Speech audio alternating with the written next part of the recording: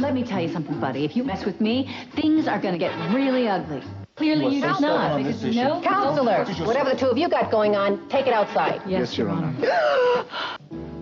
Did we get married last night? The details are a little bit fuzzy, but I think You're not happy.